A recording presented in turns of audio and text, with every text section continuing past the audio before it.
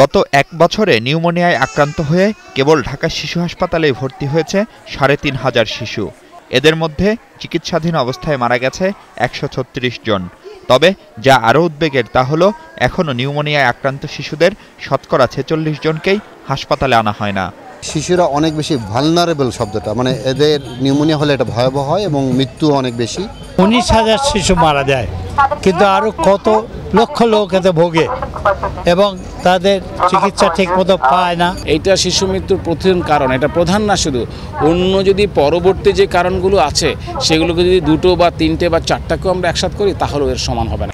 সরকারি ও বেসরকারি অনেক উদ্যোগের পর এখনও অর্ধেকের বেশি নবজাত শিশুকে খাওয়ানো হয় না মায়ের বুকের দুধ। প্রথম ছয় মাস তা খাওয়ালে নিউমোনিয়ার সংক্রমণ অনেকটাই কমানো সম্ভব। নিউমোনিয়ার এই প্রকোপ কমাতে সম্প্রসারিত টিকাদান কর্মসূচিতে নিউমোকক্কাল ভ্যাকসিন অন্তর্ভুক্ত করার সরকারি উদ্যোগ বাস্তবায়নের পথে। আর তাহলে শিশু মৃত্যুহার অনেকটাই কমে আসবে।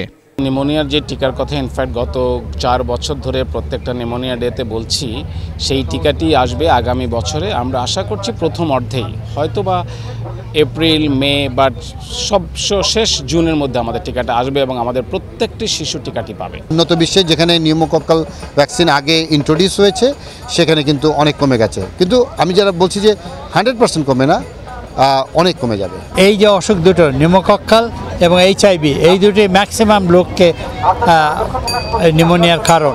এই দুটো যে নির্মূল করতে পারি এবং ওভার নাইনটি পার্সেন্ট নিউমোনিয়া আমি নির্মূল করতে পারব।